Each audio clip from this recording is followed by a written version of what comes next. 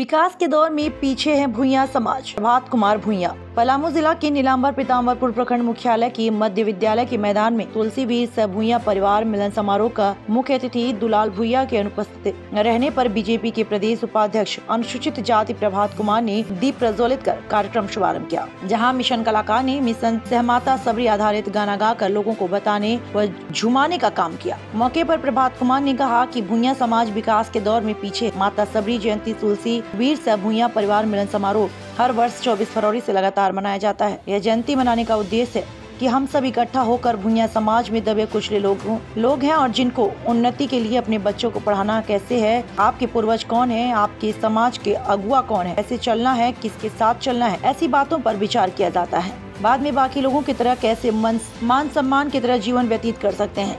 बाबा साहब डॉक्टर भीमराव अंबेडकर जी ने जो संविधान में हक दिया है उसको संघर्ष एवं लड़ाई करके कैसे ले सकते हैं? राज्य सरकार या केंद्र सरकार की जो योजनाएँ चल रही हैं उस योजना को हम कैसे ले सकते हैं? और हमारे समाज के विद्वानों के द्वारा बताया गया हर चीज़ों पर चर्चा किया जाता है। क्या नाम हुआ आपका? मेरा नाम प्रभात कुमार भूया पड़ेगा।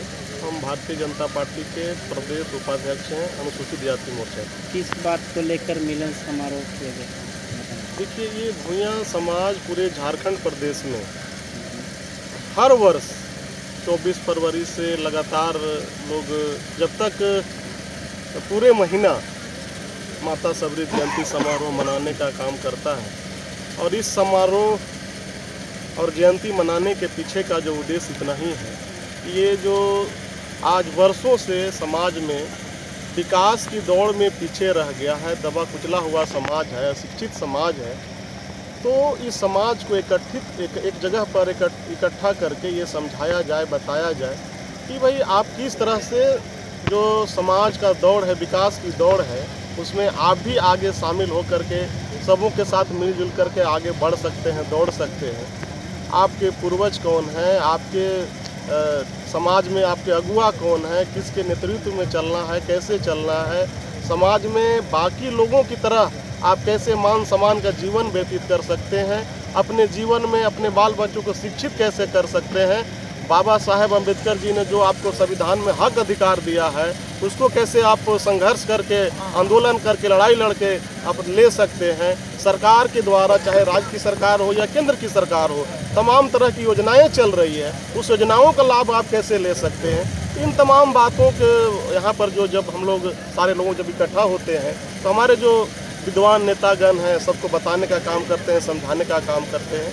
तो कुल मिलाकर के इन्हीं बातों को हम लोग ध्यान में रह करके इस तरह के कार्यक्रम का आयोजन करते हैं। माता सबरी हमारे कुल देवी हैं।